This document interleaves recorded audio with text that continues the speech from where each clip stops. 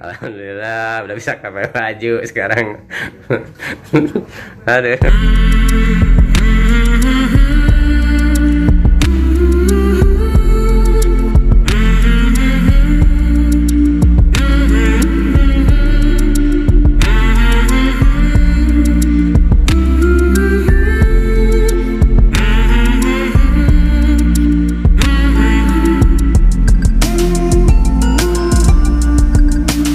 Assalamualaikum, saya Lesti. Untuk teman-teman semuanya Jangan lupa like, comment, and subscribe.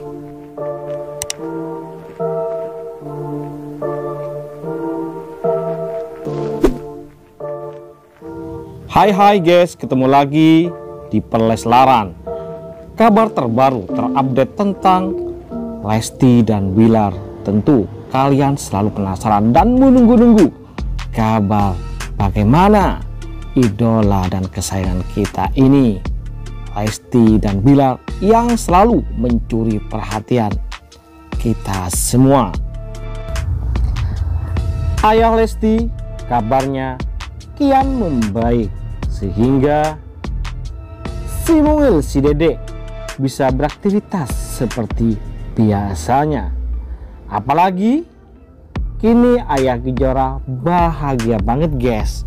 Ya karena tadi dia udah dapet kunjungan dikunjungi dijenguk oleh sang calon mantu tentu saja dengan keluarganya guys dan ayah ibunya ya Pertama yang mengeluarkan kabar tersebut adalah Moreno di feed Instagramnya. Kemudian ayah Kejora sendiri mengunggah keberadaan dirinya saat dijenguk sama si calon mantu.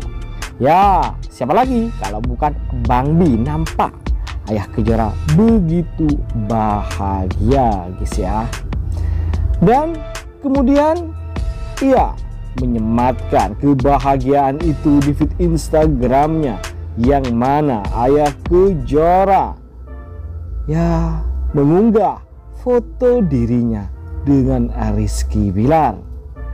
Yang mana dia bersuah foto bersama di rumah sakit tempat ia dirawat tak lupa si ayah juga menyematkan semua emoticon cinta untuk calon mantunya itu. Begitupun yang bikin salfok adalah doa dari Bang Bi pada calon ayah mertuanya tersebut. Rizky Bilar menyematkan doa terindah, doa bagi ayah Kejora. Semoga cepat sembuh Bapak, kata Rizky Bilar. Tentu saja hal tersebut mengundang perhatian banyak netter, banyak netter, banyak yang salvok dengan doa dan kemesraan yang terjadi di antara keduanya, yakni di antara Ayah Kejora dan Rizky Bilar yang memang serasi sebagai seorang ayah dan anak. Ya, anak ketemu gede, calon mantu, pipit pipit calon mantu.